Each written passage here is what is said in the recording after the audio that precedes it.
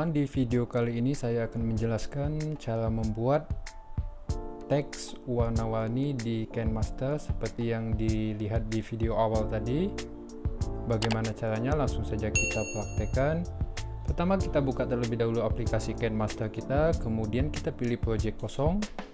Selanjutnya kita pilih aspek rasio 16 banding 9. Kemudian kita pilih media, pada bagian media kita pilih rata dan kita pilih yang warna hitam. Kemudian kita tekan OK. Dan letakkan pada bagian depan sini. Kemudian selanjutnya kita pilih lapisan. Pada bagian lapisan kita masukkan teks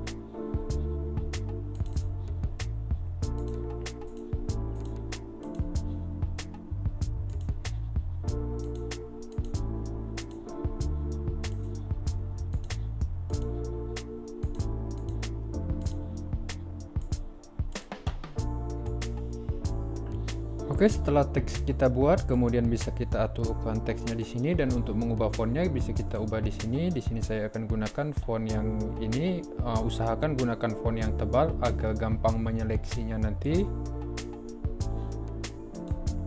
Kemudian ukurannya bisa kita perbesar di sini.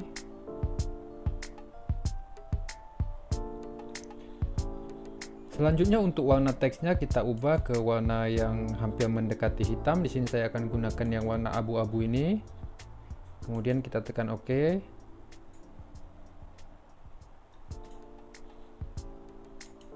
Setelah tag kita buat, kemudian kita pilih yang kotak 3 sebelah sini, yang kotak gambar kotak maksudnya yang sebelah sini. Kemudian kita pilih tangkap dan simpan. Langkah selanjutnya kita buka aplikasi background eraser. Kemudian kita pilih load foto. Dan kita masukkan teks yang sudah kita buat di aplikasi KineMaster tadi. Kemudian kita kita pilih down pada bagian sini. Dan kita perbesar sedikit agar gampang menyeleksinya. Selanjutnya kita pilih yang auto yang sebelah sini, yang ini. Dan kita tinggal seleksi masing-masing hurufnya.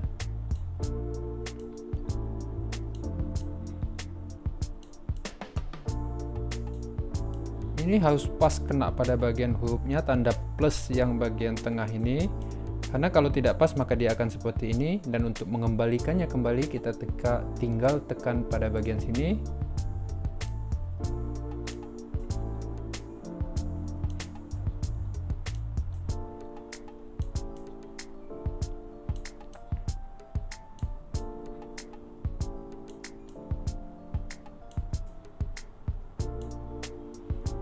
Setelah semuanya telah kita seleksi, maka kita pilih down pada bagian sini. Selanjutnya kita save dan finish. Setelah itu kita masuk kembali ke aplikasi KineMaster kita. Kemudian kita pilih lagi project kosong dan kita pilih kembali aspek rasio 16 banding 9. Selanjutnya kita pilih media dan kita pilih latar kembali. Kita pilih yang warna putih terlebih dahulu letakkan pada bagian depan. Selanjutnya kita pilih lapisan. Pada bagian lapisan kita pilih media.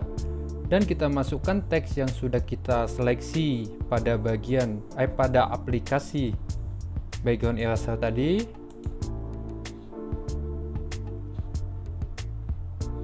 Kemudian kita atur ukurannya supaya sama besarnya dengan frame ini Oke, selanjutnya kita tekan OK. Kemudian untuk selanjutnya kembali kita pilih lapisan. Pada bagian lapisan kita pilih tulis tangan yang sebelah sini, yang ini. Dan kita pilih ketebalannya yang yang ini karena kalau pilih yang ini ini terlalu tebal. Jadi kita gunakan ketebalan yang ini untuk memberikan efek warnanya nanti yang ini saja yang bagus kemudian teksnya tinggal kita coret-coret seperti ini.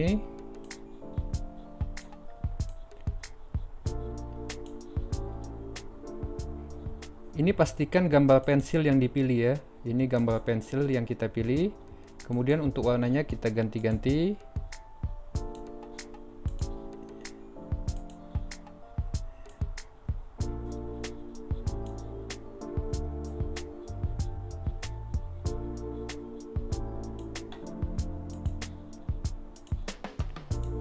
lakukan seperti ini dengan masing-masing warna.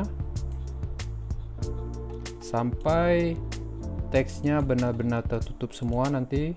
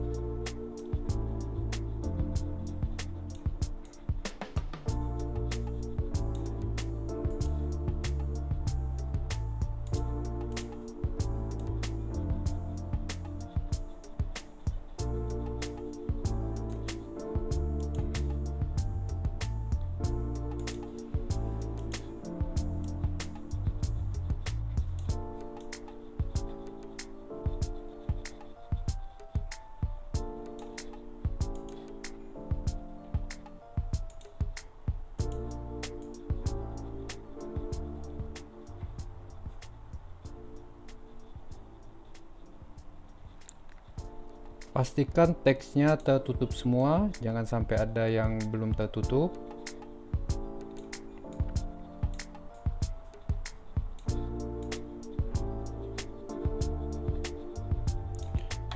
Oke selanjutnya setelah teksnya tertutup semua kita pilih OK.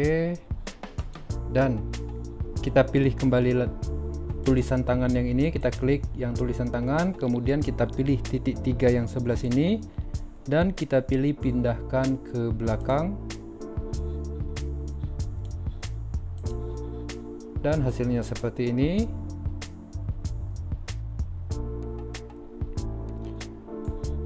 Kemudian untuk memberikan animasinya kita tinggal klik yang tulisan tangan ini yang layar yang tulisan tangan.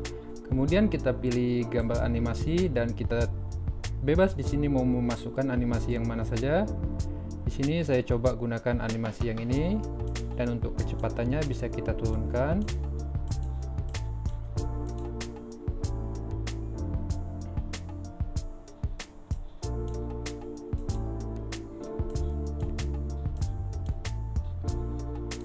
Dan untuk background yang awalnya ini kita ganti lagi ke warna hitam dan hasilnya seperti ini kita coba play. Untuk animasinya bebas di sini kita mau masukkan yang mana tergantung keinginan kita. Bisa yang ini bisa yang yang ini juga.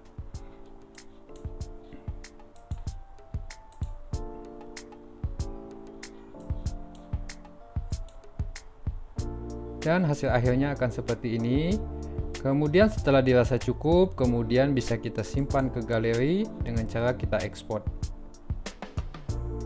Demikian penjelasan dari saya, semoga video ini bermanfaat dan sampai ketemu di video selanjutnya.